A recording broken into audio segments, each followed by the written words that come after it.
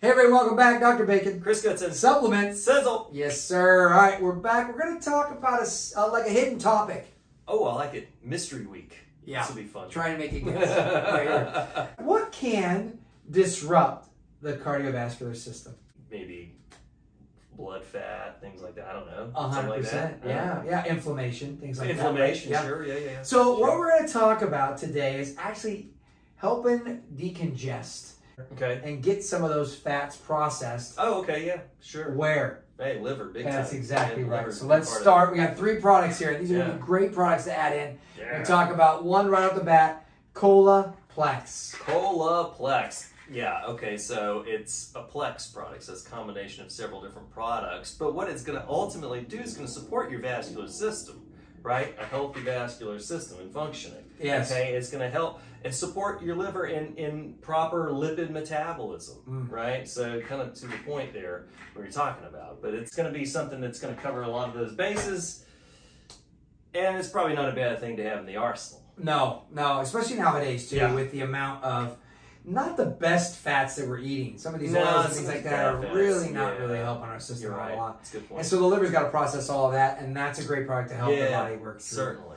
certainly. Another one too that helps with fat metabolism Yes. is soybean lecithin. Yeah, soybean lecithin. It's a really great product because it helps your liver's ability to process fats. Yeah. Uh, and it's it supports cell membranes. So I mean, you think about cell membranes and epithelium, right? Yeah. They're everywhere, right? So the lecithin is great. It's a really big part of the cell membrane.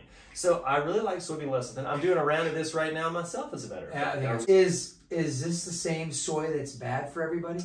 Well, people have the connotation that soy is going to be a, a bad allergen, but that's the protein. You Yeah. can be allergic to soy protein, certainly, but not the lipid component to it. The lipid component's not a problem. See, Ah, smart, isn't he? I tried to stump him, you guys. Yeah. You sent that question in, he got it. got it. All right, so next one, we're gonna do an herb, and I really like this herb, Yeah. Livton.